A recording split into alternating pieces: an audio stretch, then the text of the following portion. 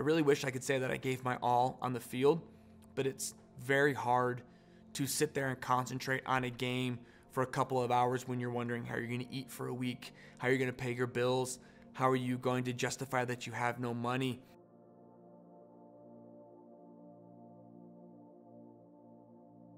Epic's sports betting consultancy program is really designed to create multiple touch points around a sports organization. And that really feeds into three main things. It feeds into protecting that organization's people, it feeds into protecting that organization's performance, and it feeds into protecting that organization's reputation.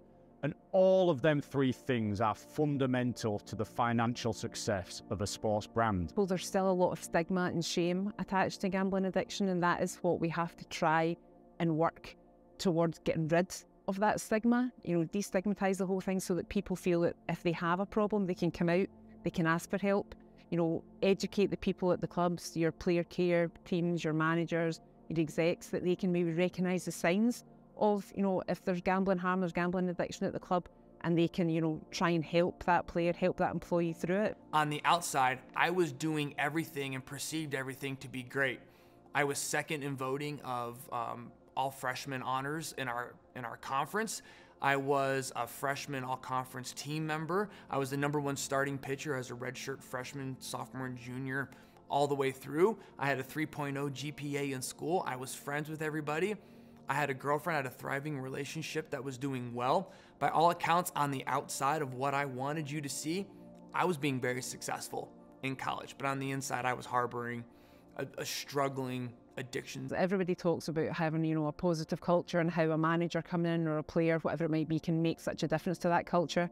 You know, on the flip side of that, if somebody comes in or somebody's there and they've got an issue and that starts to eat away at that culture, it can become toxic really, really quickly for every one person out there that has a gambling addiction, they say it affects 10 others. You know, when you, you bring into the, the backroom staff, the office staff, executive level, the fans as well, because fans notice, fans start to, you know, they start shouting abuse, etc. All these players. So, you know, in terms of it can turn a good culture can turn toxic really, really quickly if you don't deal with these these issues and know how to deal with them.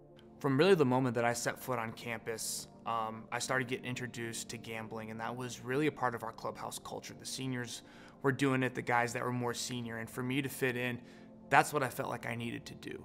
Education is key when it comes to you know understanding gambling harm and the effect that it can have on your team, on your club, you know, on your individual players. The sports consultancy services that we provide enable sporting organisations to take a 360 view at what gambling harm can look like can also obviously have a significant impact in terms of fan engagement and the sentiment of the fan base. And if their engagement with the gambling industry or something that's occurred because of their relationship with gambling causes negative sentiment within that fan base, then that provides challenges in terms of increasing revenue and, and monetizing that fan base for an organization. And then ultimately, brand and reputation is, is what the organization is known for. And if there is an integrity breach, or if there is an issue with a player who has an issue with gambling, or if there's an issue with a member of staff, or with their relationship with the industry, then that's always going to have a negative impact on their brand and their reputation. But what we want to do is we want to make an impact across that entire organisation.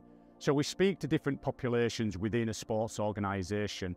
So that includes the executives, it includes the owners and the board, it includes the partnerships managers, people working in marketing, in communications, and even the individuals working around the uh, training ground and around the stadium because these people are exposed to gambling, gambling messages, and gambling products just as much as the on field playing staff. So it's really, really important to the culture of the organisation and the impact that we aim to make for a sports organisation that we speak to everyone and not just the players problem gambling, gambling harm doesn't discriminate, whether that's gender, race, age, and the statement uh, pertains just as relative to geography. Shortly after the repeal of PASPA, we recognised that the gambling industry was going to grow at a significant rate in the US, and we identified that there was going to be a need for organisations like Epic focused on preventing and minimising gambling related harm to take that work to the US and to support the US in the sustainable growth of their industry Epic learns from lived experience